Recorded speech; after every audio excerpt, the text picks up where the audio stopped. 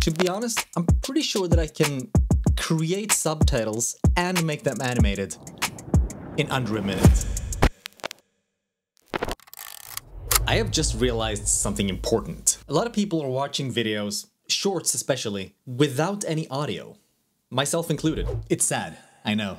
That makes captions on your video really important. So I've gone from no captions to adding captions, and now I've gone a step further and adding animated captions to my shorts, like the ones you're probably seeing right now uh, if I edited this video correctly. Now this thing helps engage the viewer a lot better, especially if they're watching without audio. Now the ones that you're seeing on my videos are made with a plugin inside DaVinci Resolve that uses the subtitles that you already have in your timeline to create these animations. And if you've seen my earlier video on how to create automatic subtitles on your videos in DaVinci Resolve, subtitles used to be a real pain to deal with. Now, however, I can create and add subtitles myself in just a few clicks. I think you can imagine how simple and fast this process can be. To be honest, I'm pretty sure that I can create subtitles and make them animated in under a minute. And I'm doing this in DaVinci Resolve with a plugin called Caption Cat. All right, so the bad news first. This is not a free plugin. But hold on, before you leave, there are some good news. The creator of this plugin has actually given me three licenses to share with my audience. So stick around, uh, let me show you how this plugin works, and then at the end I'll show you how you can win one of these three licenses for Caption Cat. Alright, so we are in DaVinci Resolve, we are on the edit page, and I've obviously already got the plugin installed already. Uh, this is a project, one of my shorts that uh, already has this effect on it. You can see the subtitles right here, you can see the Caption Cat effect right here, and you can obviously see what's going on on the screen.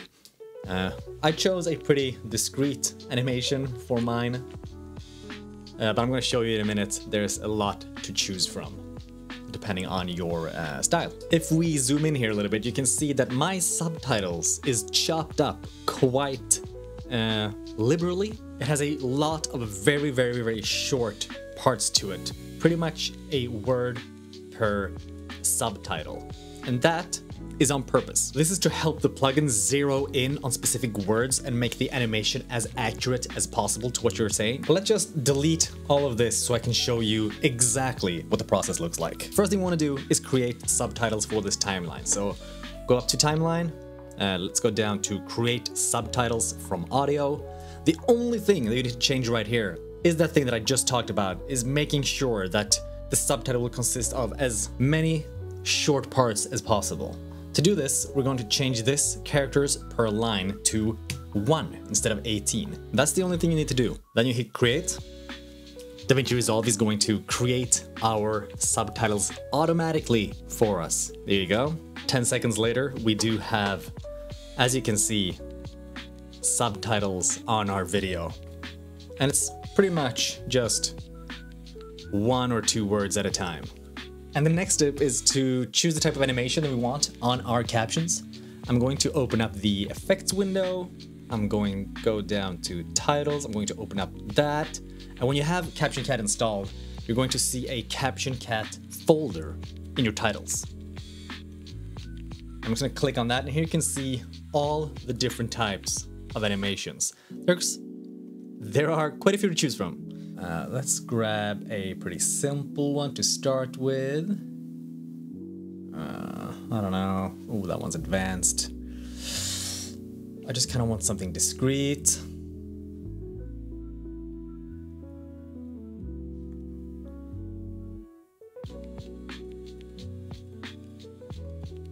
Simplicity. I should have just read the the titles.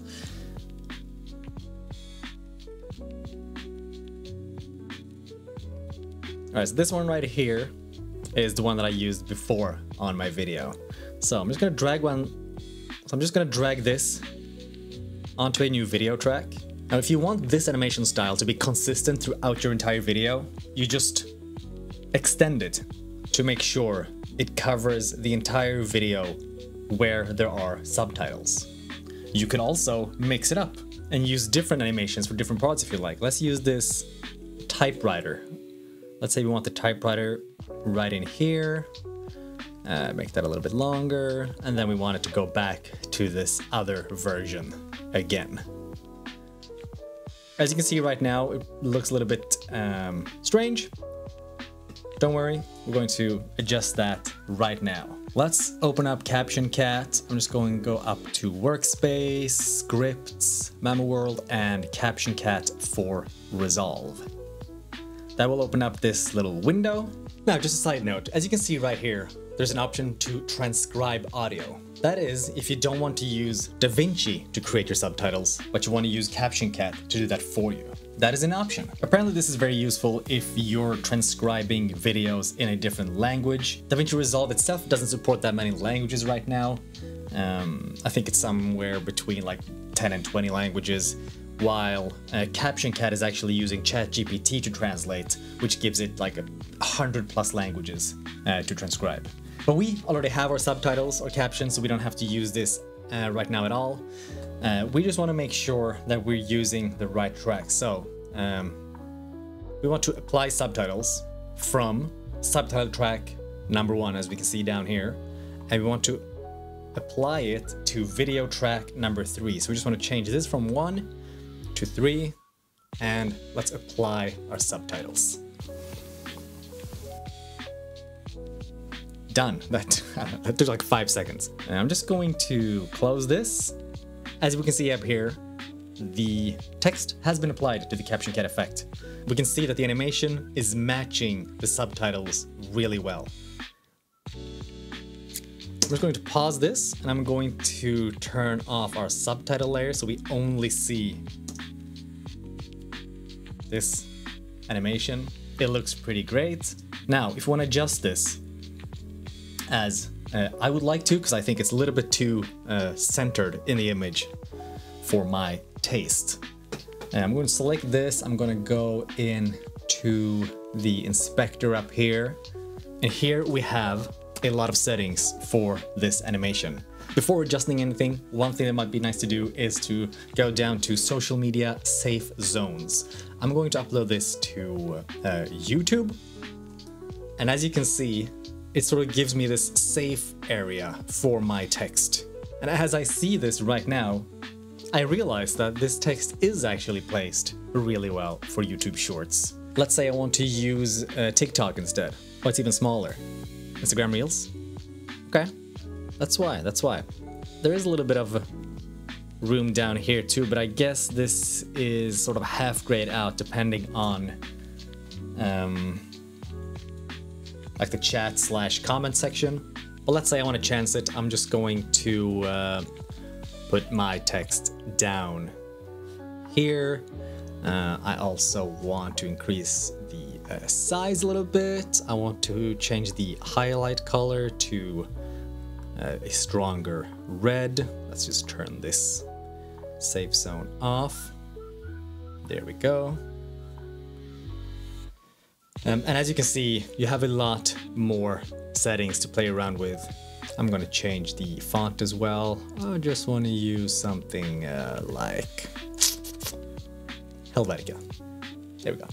And if we jump over to this part, you can see, oh, this text seems to be a little bit out of frame. Uh, let's make this text smaller.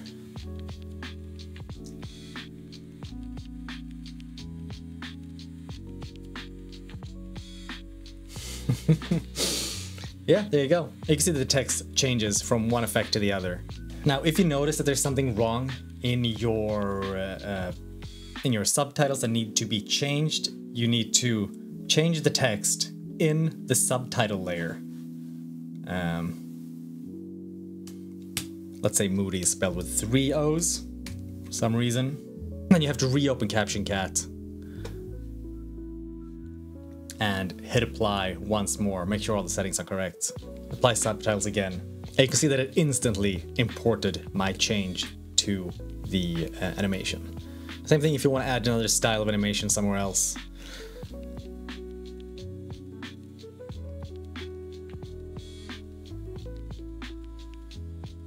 Just throw that into your timeline. Open up Caption Cat again. Same thing. Make sure the settings are correct. Apply subtitles.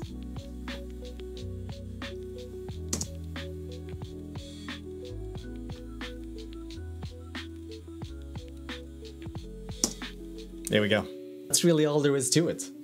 It has saved me so much time and it made my uh, videos look a lot more professional, I think. It is a bit sad that a lot of us are watching shorts without audio, but hey, I guess that's uh, the way it is right now. And um, and all we can do is adapt, I guess. Really simple, uh, really fast, as you saw. Uh, it makes my uh, life easier and more fun, to be honest. I'd rather spend my time filming new videos than animating texts. All right, that's uh, that's it. Now you're probably wondering how you can win one of these three licenses that Matthias at Caption Cat so generously shared with me. Well, I'm going to make it really easy. Just uh, leave a comment on this video, anything you want, preferably something nice, and I will pick uh, three random winners among the comments in.